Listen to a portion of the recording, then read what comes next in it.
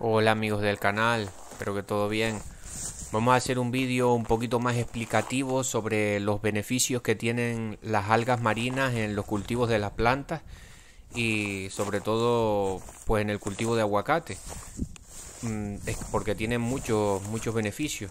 Eh, como ya dije en otros, en, en otros vídeos, en otras ocasiones, el uso de algas y el uso de aminoácidos en otro vídeo vamos a hablar del uso de aminoácidos, eh, ya debería de estar incluido en tu sistema de en tu sistema o en tu plan, en tu plan de, abonado que suelen tener las fincas, un plan de abonado durante todo el año, porque mm, sabemos que no en todo el año se hay que hay que darle a la planta los mismos abonos. Depende de la época en que esté la planta, pues va a necesitar más unos abonos que otros. Pero el, uso de algas y aminoácidos debe de estar incluido en ese plan de abonado, junto con los otros productos, ya sea nitrógeno, fósforo, potasio, microelementos. Eh, pero nada, para no, no, enrollar mucho ni hacer el vídeo muy, muy largo, vamos a hablar sobre sobre eso, sobre los beneficios de, de las algas en, los cultivos, en los cultivos, en las plantas. Va muy bien para el aguacate, ¿eh? Eh, hay que decirlo que, va muy bien. Mm, eh, es que en, el vídeo este que estamos viendo ahora, que, se ven las plantas pequeñas, se ve que cómo me han despertado las plantas, que, que las plantas estaban pues estaba mal, estaban paradas las plantas y ya se empiezan a ver brotes pequeños de, de, de eso, de, de, que se han reactivado, por así decirlo, las plantas. El alga, eh, yo la que he utilizado, sé que hay más, pero la más común por esta zona, aquí en España, la más común o... Sí, porque yo he averiguado alguna más y casi toda la que he conseguido es, es esta, se llama As Ascophyllum nodosum. A ver, Ascophy con P H I L L U M nodosum. Si lo ponen en internet les va a aparecer. Pues esta es una de las algas que más se utiliza, por lo visto, es que tiene muchos beneficios. Ahora vamos a hablar de ello. Para, para el tema de la agricultura. Eh, los extractos de Asphilcium nodosum son utilizados como un bioestimulante. Pueden incentivar a la planta a producir sus propias hormonas. Contribuyen en la, en la absorción y traslocación de nutrientes presentes en el suelo. Lo anterior trae beneficios como el aumento del crecimiento de la planta, rápida germinación de las semillas, retraso de la senescencia, que no tengo ni idea lo que es, incremento en la resistencia y enfermedades fúngicas y bacterianas. Eh, y es verdad, es verdad, porque yo recuperé un limonero que, o sea, sin, sin ningún fungicida, ese limonero tenía un hongo en la raíz o un hongo en el tronco. Yo lo que hice, porque se recomienda hacer... Eh, es un poco radical, pero es que no hay otra solución. Podas la planta, haces como una poda de rejuvenecimiento, que es que podas la, eh, planta, le dejas los, las, tres, eh, las cuatro guías, eh, norte, sur, este y oeste, más o menos, a una distancia, y dejas las cuatro guías y, y podas bastante para atrás el árbol. Lo podas bastante para atrás, pero no rente, o sea, no por encima del injerto en esas cuatro guías. Pues lo, lo podas y, y nada, empecé a ver un, pequeño brote, un tal, no sé qué, empecé a aplicar y aplicarle por el suelo, lógicamente porque había hecho una poda, aplicando por el suelo. Y el árbol fue despertando, despertando y viene con fuerza, viene bien. O sea que recuperé un, una, una planta de limón sin fofito de potasio que tenía hongo. Eh, se ve hasta el tronco, como estaba como medio podridillo ahí y, sin aplicar fosfito de potasio, sin aplicarle cobre, que es muy buen fungicida, sin, sin ningún veneno químico, solo con las algas y en la planta, porque la planta se iba a morir, la planta se iba a morir y la recuperé solo con las algas, o sea que estos, estos productos son muy buenos. Y sobre todo las algas, yo diría que hasta más las algas que los aminoácidos, pero los aminoácidos también tienen muchos, muchos beneficios que los podemos combinar. Seguimos. Eh, Puede tratar enfermedades fúngicas y bacterianas, hacer las plantas más resistentes, adaptación a condiciones de estrés, entre otros. Los ingredientes activos que contiene el extracto de Asphyllium nodosum y que permiten extender su comportamiento y efecto en las plantas. Son beatina, manitol, ácido algínico, polifenoles, fucano y laminarina. Beneficios sobre el suelo. Estos productos también afectan a las propiedades físicas y químicas biológicas del suelo, favoreciendo el crecimiento de los cultivos. mejora la capacidad de retención de la humedad por su alto contenido en fibra y promueve la actividad de microorganismos beneficiosos en el suelo.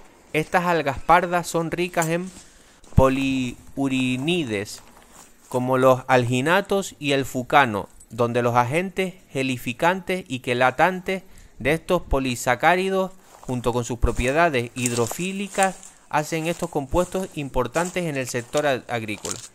Ahora, van ahora vamos a explicar un poco de, todo el rollo este que, lo dice para qué sirven las vitaminas, para qué sirve el manitol, para qué sirven los polifenoles, para qué sirven las laminarinas y para qué sirven los fucanos.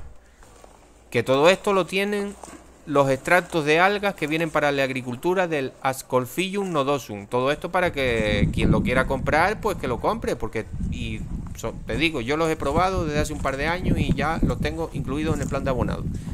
y decir que se aplica tanto vía foliar como vía eh, radicular, o sea, por la hoja, sulfatado, en la dosis que lleva, y, tanto por, el, por, el, por la raíz.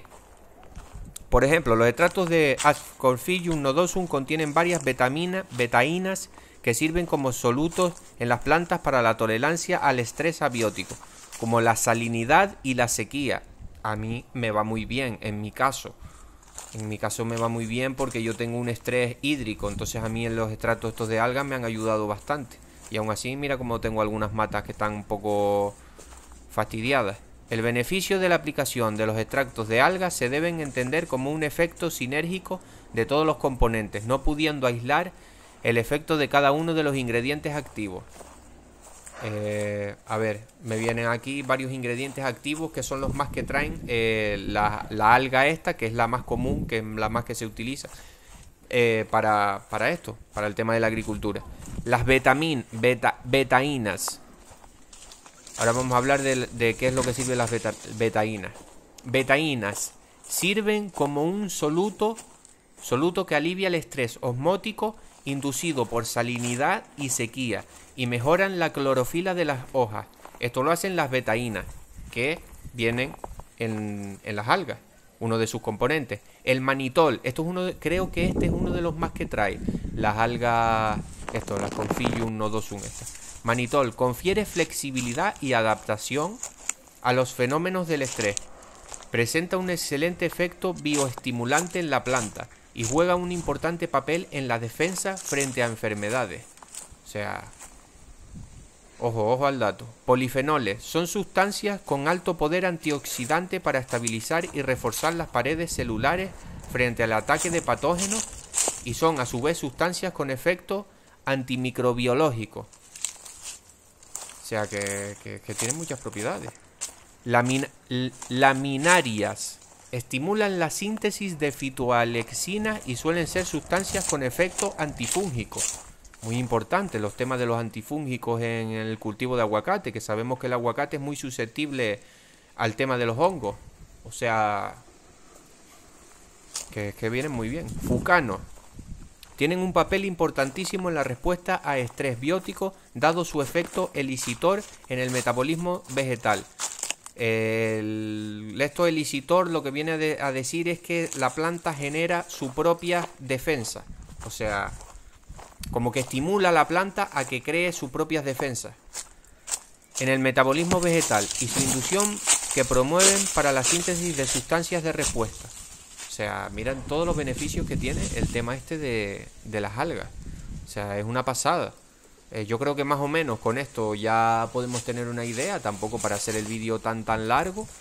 Eh, es un producto buenísimo, yo lo recomiendo, calidad-precio, buscad unas así mientras tenga un, mientras sea esta, yo que es la que he probado, el, el con PHI, Ascorphium nodosum. Y, nada, señores, va muy bien. También decir que estos son unas algas que se crían en el Eh, bueno, están naturalmente ahí. Creo que era en el Mar del Norte. No me voy a poner a dar muchos datos por si acaso me confunda, pero sí, para, para arriba. Pues, o sea, y están sometidas estas algas a mucho estrés. También creo que pasan parte de, su ciclo de vida, mm, o sea, una parte debajo del agua, otra parte están en la superficie del agua y claro, toda, todo esto a lo largo de los años ha hecho que estas algas pues creen todas estas propiedades que se descubrieron que haciendo, sacándole el extracto de estas algas, pues son muy beneficiosas para la agricultura. Y nada, yo no quiero mentir a nadie, aquí a mí nadie me promociona ni nada de eso, pero lo que pruebo y funciona, pues me gusta compartirlo y, y, y nada. Pues nada, espero que les haya gustado el vídeo. Un saludo y em, a ver si el próximo vídeo puede ser de los aminoácidos. Un saludo.